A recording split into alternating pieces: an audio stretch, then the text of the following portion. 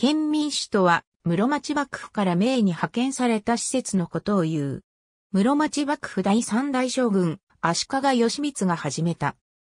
南北朝合一後、義満は、日本国王神源義満名義で民との通行を試みるが、明は、作法体制下において、南朝の金長親王を日本国王、領海として認めていたため、受け入れられなかった。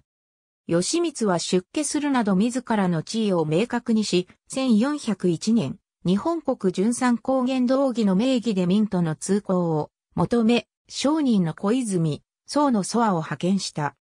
1402年、義満は永楽帝に日本国王に封ぜられ、1404年間合貿易が開始された。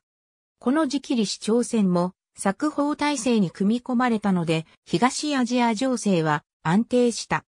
自社も非元貿易以来の自社造営領当選をよく派遣した。慶安、玄樹、摂州東洋らが随行した。